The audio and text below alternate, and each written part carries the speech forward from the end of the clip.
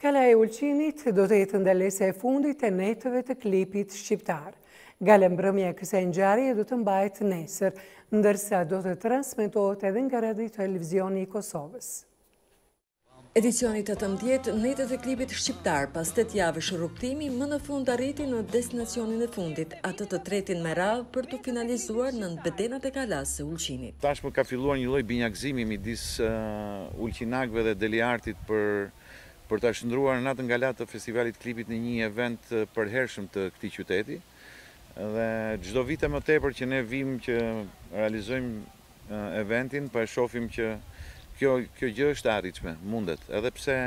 nga pikpamja politike burokratike ndrohen kryetar drejtor etj etj po e shofim që të gjithëve po ju pëlqen gradualisht u mësuam që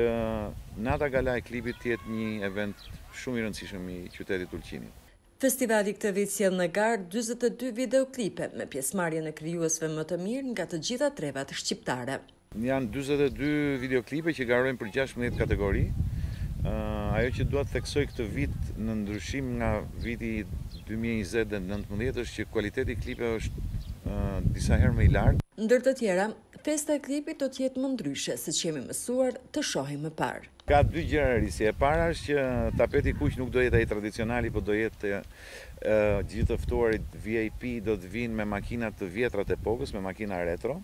falë një bashkëpunimi shumë të suksesshëm që Deliarti kishte këtë vit me Drejtorinë e Përgjithshme të Transportit Rrugor në Shqipëri, por edhe me Shoqatën e Makinave Retro në Mal të Zi. Dhe e dyta është që për herë të parë jepet një çmim ekstra nga Organizata Turistike e Ulqinit që klipi fitues këtë vit do të përfitojë të drejta të plota qëndrimi, ushqimi dhe lokacioni në Ulqin për të realizuar klipin e radhës si sponsor nga Organizata Turistike, që është një gjë shumë interesante sepse në fund fare do nxisi dhjetat krijues të tjerë për të pasur lokacionet e Ulqinit për të realizuar klipet e tyre. Finalen gala të kësaj ngjarjeje do të keni mundësi ta ndiqni të dielën më gjashtë qershor, drejtpërdrejt nga Radio Televizioni Shqiptar, Radio Televizioni i Kosovës dhe Radio Televizioni Shtetëror i Maqedonisë së Veriut.